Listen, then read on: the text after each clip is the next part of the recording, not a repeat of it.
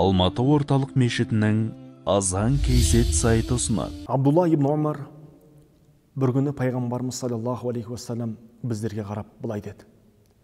Ей мұхажир жамағат сондай бес түрлі бәле бар. Соларға сендер душар болып емтиханға тартылған кездеріңізде мен сендердің соларға еріп кетпеулерің үшін алла тағаладан жәрдем пана сұраймын деген еді. Біріншісі бір қоғамда бір елде зина яғни ойнас және басқа да арсыздық пен ұятсыздықтар жайылып тіпті ол ап ашық ешқандай қымсынбастан жасырынбастан істелетін жағдайға келген кезде алла тағала ол жерлерді неше түрлі аурулармен оба ауруымен тіпті бұрынғы қоғам бұрынғы өткен үмметтерде еш көрілмеген аурулармен жазалайды деген. Яғни күнімізде қарап отыратын болсақ спид ауруы бұрынғы өткен қоғамда болмағандығы белгілі. Өкінішке орай ұятсыздық пен арсыздықтың белең алған уақытында алла тағала осындай адамдардың дертіне дауа яғни шипасын табу өте қиын болатын аурулармен адамдарды сынайтындығын жеткізген. Яғни бұл адамдардың арасында арсыздық пен ұятсыздықтың зинаның белең алып және ол еш қысылмастан қымсынбастан жасалатын кезде алла тағаланың сондай қоғамдарға жіберіп жазалайтын ауруы деп пайғамбарымыз саллаллаху ескерткен екен. Сонымен қатар шариғатта тыйым салған яғни нәсілдің ұрпақтың қорғалуы үшін шариғатымызда тыйым салған нәрсенің бірі осы зина екен. Яғни нәсіл қорғау үшін адам баласы осындай нәрселерден аулақ болу керек. Өйткені егер бұндай нәрселерден аулақ болмайтын болса адам баласының нәсілі бұзылып кетеді екен. Тіпті өзінің ұрпағы мен өзінің ұрпағының үйленуіне әкеп соғуы әбден мүмкін болады. Пайғамбарымыз саллаллаху алейhi екінші ескерткен нәрсесі бір қоғамда таразыдан алдау оны кем өлшеу белең алған кезде алла тағала ол қоғамға қуаңшылық құрғақшылық жібереді деген. Яғни жаңбыр жаумайды. Ал енді жаңбыр жаумағаннан кейін егістік өнімнің өспейтіндігі. Сонымен қатар егістік пен өнім өспеген жерде күнделікті өмір сүруде тауқымет яғни таршылықтың болатындығы.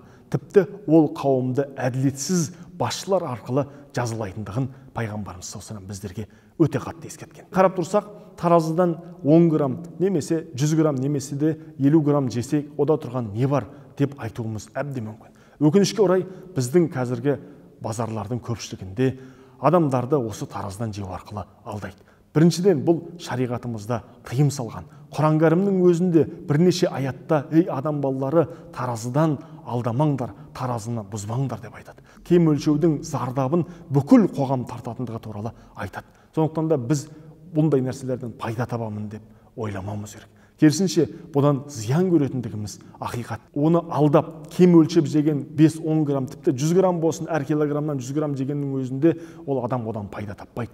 Ондай адамның алла тағала берекесін алып қояды керісінше әділ болған жағдайда алла тағала ол кісінің саудасына береке беріп ойламаған жерден алла тағала оның рызық нәсібесін кеңейтетіні анық. Бірде пайғамбарымыз саллаллаху алейхи уассалам өзі басшы болып тұрған елін аралап жүрген кезде базарға кіреді. Базарға кіріп сатып тұрған бидайды қаптың ішінде тұрған бидайға қолын бойлатып астындағы дымқылын алып шығып бетіне қойып не дейді? Бұл не дейді? Сонда сасық болған әлгі саудагер я расулалла бұл дымқыл жерде тұрып еді дымқыл тартып қалыпты дейді. Дымқыл тартқан арпаның бидайдың және де басқа да дақылдардың салмағының ауыр басатындығы белгілі. Сонда пайғамбарымыз саллаллаху не дейді? Олай болса неге сен дымқыл жағын бетіне шығарып қоймадың? деп сөзін былай жалғастырады. Кімде кім бізді алдаған болса ол бізден емес дейді. Яғни мұсылмандарды алдаған адам мұсылман емес деп пайғамбарымыз саллаллаху ескерткен екен. Сондықтан да мұсылманды алдау бұл өте болмайтын нәрсе.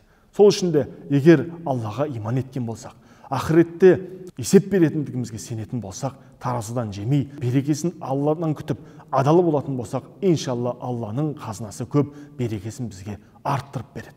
Осыған байланысты бір оқиға еске оралады. Бір жалғыз басты кейуана сиыр сауып сиырынан сүтінен айран ұйытып айранынан қаймағынан май шығарып сол майды алып келіп дүкенге өткізіп жібереді екен. Сонда дүкенші ол кісінің алып келген майын өлшемейді екен. Яғни ол кісі бір келі деп өткізген болса ол үлкен кейуана кісіге сеніп оны өлшемей ала береді екен. Күндердің күнінде ой келіп осы кейуананың апамыздың алып келіп жүрген майын өлшеп көрейінші деп өлшесе шынында да 900 ақ грамм болып шығады. Яғни бір килограммға 100 грамм жетпейді. Сонда қатты ашуланып сөйтіп әлгі апа келесі де тағы да майын алып келген кезде апаға дүрсе қойып ашуланып апа төріңізден көріңіз жақын болып тұрған кезде ұялмайсыз ба? Неге сіз мені осынша уақыттан бері алдап келгенсіз? дейді. Сонда әлгі жалғыз басты момын апамыз қатты қысылып қиналып балам ау шырағым ау мен бір айып жасадым ба? Не болды?